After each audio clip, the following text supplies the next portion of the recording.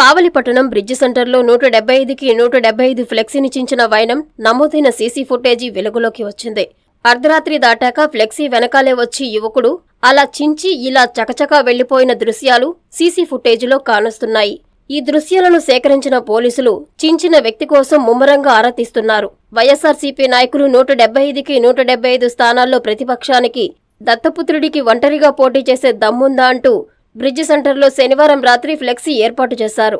ఫ్లెక్సీలో దత్తపుత్రుడు అంటూ పవన్ కళ్యాణ్ను సంబోధించడం మా మనోభావాలు దెబ్బతిన్నాయని జనసైనికులు రెండు రోజులు అలిపెరగని పోరాటం చేశారు.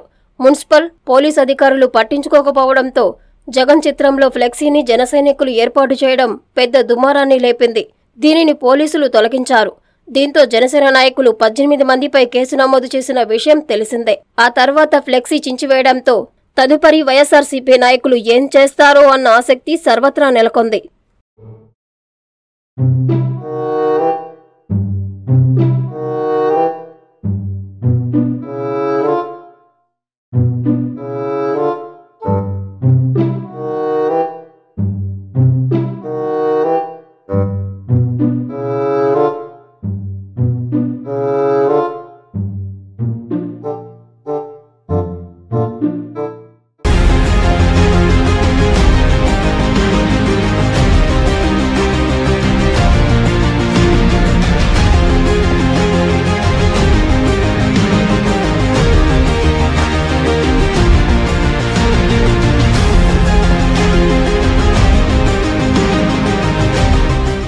Doctor Ramaswamy super speciality hospitals కావలిపట్టణ మరియు పరిసర ప్రాంత ప్రజలకు శుభవార్త. Doctor M Ramaswamy trauma spine కీళ్ళ మార్పిడి స్పెషలిస్ట్. మోకాళ్ళ మార్పిడి తుంటి మార్పిడి ఆపరేషన్లు చేయబడును. విరిగిన ఎముకలకు వెన్నుపూస ఆపరేషన్లు అత్యాధునిక పద్ధతుల ద్వారా చేయబడును. Doctor P. పుష్పిక గుండె ఊపిరితిత్తులు షుగర్ అండ్ రుమటాలజీ వ్యాధుల వైద్య నిపుణులు. Doctor T. Sudeep Yadav general మరియు ఎండోస్కోపీ అండ్ లాప్రోస్కోపిక్ సర్జరీ నిపుణులు.